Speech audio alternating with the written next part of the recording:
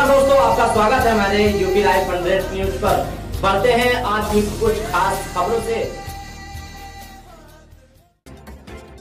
उत्तर प्रदेश प्रतापगढ़ प्रतापगढ़ ज़िले में नवनिर्मित मेडिकल कॉलेज का नामकरण सोने लाल पटेल के नाम किए जाने से बेल्हा नागरिक सम्मान संघर्ष मोर्चा द्वारा इसका जोरदार विरोध किया जा रहा है।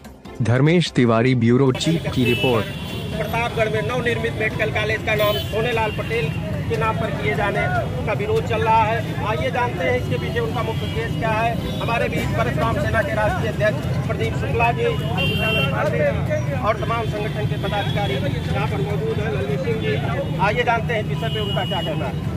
प्रतापगढ़ का बहुत बड़ा दुर्भाग्य है आज प्रतापगढ़ में इतने स्वतंत्रता संग्राम सेनानी, इतने अमर सपूत जो कि देश की रक्षा करते हुए अपने प्राणों की आहुति दे दी तमाम सारे सारे महापुरुष ऐसे प्रतापगढ़ की धरती से है, जिनके नाम पर मेडिकल कॉलेज का नाम होना चाहिए। सोनेलाल पटेल जी का कोई योगदान प्रतापगढ़ जनपद में नहीं है।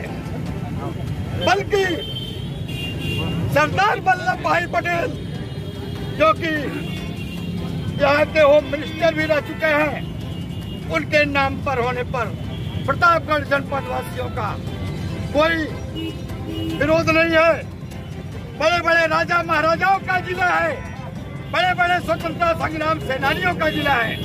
यहाँ इतनी महानुभूतियाँ हैं, फिर भी उनको दरकिनार करके राजनीतिक दल की रोटी सेकने के लिए राजनीतिक लोगों ने, राजनीतिक लोगों ने सोनेलाल पटेल का नाम दर्शाया है। जिसका प्रतापगढ़ जनपद आम जनमानस। खुला विरोध करता है जिसका प्रतापगढ़ जनपद खुला विरोध करता है।